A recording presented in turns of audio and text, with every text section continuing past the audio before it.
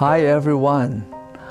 Here we are again, and uh, as you have heard from the uh, from the news, that the county has ordered us again to go back to outside worship, and starting uh, the 17th of this month, we started having masses outside the church again. Well, what can we do? We have to be in compliance because I guess that the county. Um, found out that there's a spike of COVID-19. And so for that reason, uh, they're trying all their best to keep us safe. And one of the things that they've ordered, ordered us to do would be to have mass outside the church. And so we're back at the plaza again, you know, and we'll be following the same protocol as we have been doing uh, before we went inside the church. You know, we were inside the church only for one month, and came the surprise, and so we had to to go back to the plaza, to the patio again for the for the masses. And uh, I was asked whether how many should we be able to uh, accept or bring into to attend mass at the at the patio. Well, uh, as uh, my ready answer was that uh, it all depends upon the volunteers that we have and looking at the numbers of the volunteers that we have right now and the ratio that we have as against the having people, the number of people that can have inside the church. So I decided that we'll maintain the same thing as we had prior to our going back to the church a month ago.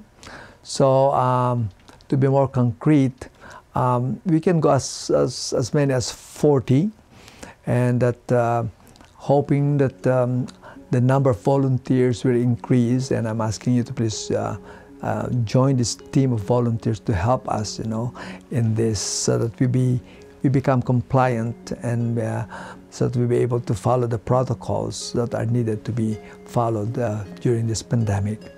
So again, uh, we continue to make your reservations uh, by texting, and that uh, again we are trying all our best at this church to to protect you from the virus and to protect ourselves too. The second thing I'd like to tell you would be about the Christ the King celebration, which is uh, in the sense that uh, is the end of the liturgical year. And for that reason, uh, it always ends with, with the celebration, celebration of Jesus as the, the King of heaven and earth, you know. And uh, Christ the King celebration is a moment to renew ourselves again, our commitment to the Lord recognizing His kingship over us, His dominion over us. He is our Lord and Savior. He's the King of heaven and earth, the King of the universe. So mm, that's the reason for the celebration. And that uh, the Thanksgiving Day will be another celebration for all of us. You know, that in spite of the pandemic, uh, there's a lot of things to thank God for. We thank God for the gift of faith, and this is faith that brings us all together you know. It's also the faith that helps us to move forward in spite of all the difficulties and challenges that we're encountering during these days. You know, it's a gift of faith uh, to be part of St. Joseph of Mountain View. And we thank God for that. We thank God for the gift of the family, you know, the gift of the family. And we all say that the, uh, where the family is, there is the kingdom of God. And God always, you know, gathers us as His family, and we thank God for the gift of the family. And finally, we thank God, you know, for the gift of friendship. You know, we are all friends. We are all brothers and sisters in Christ, friends in Christ.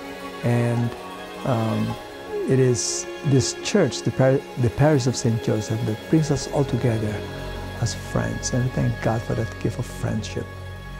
And because of that, we're able to see each other. We're able to, you know, to be in communion with other members of our parish, and that's a great gift. So those are things that we thank God for.